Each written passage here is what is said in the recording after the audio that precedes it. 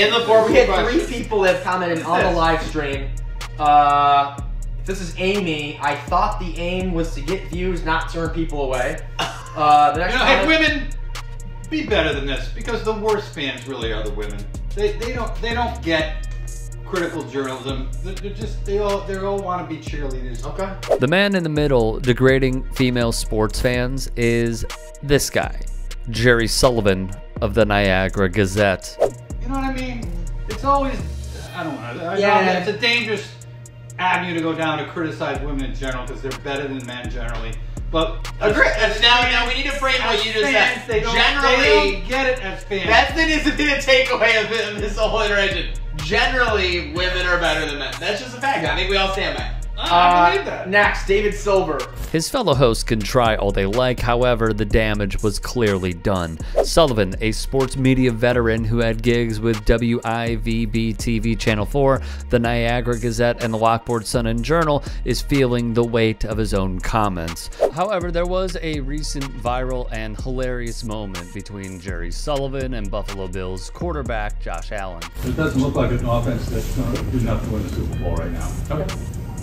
Josh, on now, on As for his commentary on the podcast, Sullivan was fired by WIVB TV Channel 4, the Gazette, and the Lockport Union Sun and Journal after he made sexist comments on the live stream podcast. The Niagara Gazette statement in part read of Sullivan's ouster, we do so unapologetically and with real disappointment in a veteran sports journalist who we once regarded as a catch for our readers. Sullivan would later write on Twitter, I'd like to apologize for comments I made on a podcast last night that were uncalled for and insulting to women. I should be better than that. To be clear, when a female listener named Amy wrote to the show, I thought the goal was to gain views, not to turn people away. Sullivan let loose on female sports fans. Women, be better than this, Sullivan said, because the worst fans really are the women.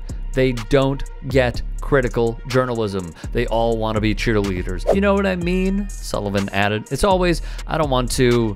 It's it's a dangerous avenue to go down to criticize women in general because they're better than men generally, but they don't get it as fans. No, Jerry, it's not okay, wrote the Gazette statement in retort to Sullivan. What it is, is a revelation of the disrespect that a man in an exceedingly rare and powerful position, long-time regional sports journalist whose words are carried in print, on television, and multiple social media platforms, is harboring for roughly half of this newspaper's readers. The disrespect he harbors for every female athlete, female coach, female journalist, every woman, period. To our readers, who viewed that obnoxious clip and wondered whether we'd overlook it in defense of tolerance or free speech, you need not worry.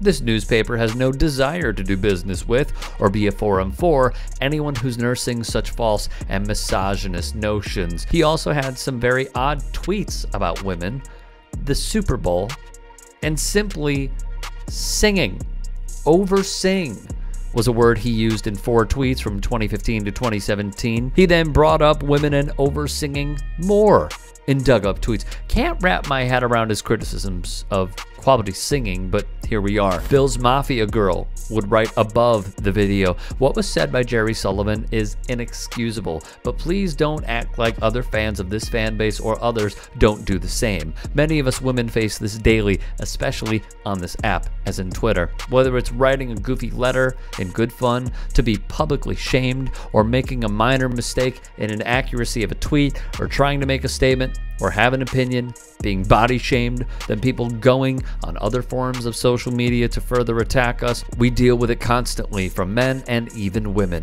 It's disgusting and never ends.